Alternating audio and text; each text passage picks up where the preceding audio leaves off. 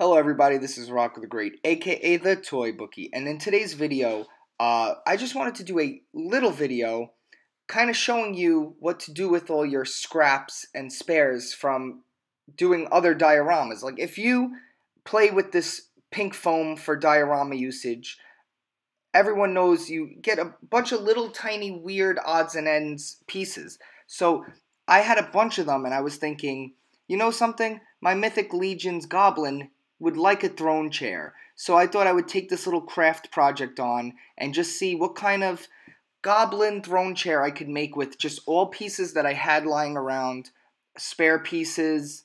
This is a, a free build, basically, just all leftover parts. Um, and I use techniques that I did in other videos. If you go back in the past and see my other videos, you could see all these techniques I did in my DIY video with the tinfoil technique to get texture.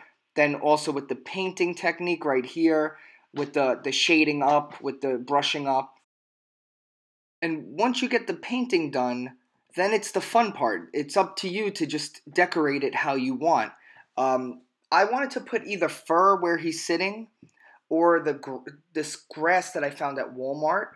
Uh, you'll see here in this video, uh, once it's all painted up, then you start decorating. See that grass right there?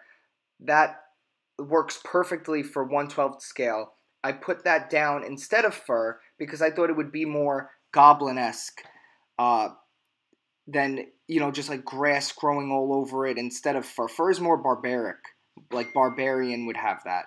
So here it is with the goblin. Uh, I'm just really happy how it came out. This took nothing to make. It was just like it was just a fun little craft while I was doing other projects. I just did this one. So hopefully this will inspire people. I've been getting a lot of feedback and messages saying that my videos have been inspiring them to do their little projects, and that's always cool. So uh, I'm still going to be adding some stuff, but just the gist of it, you could see that this is super easy, that you can do it, and uh, yeah, get out there and craft. What are you waiting for? Stay great, guys.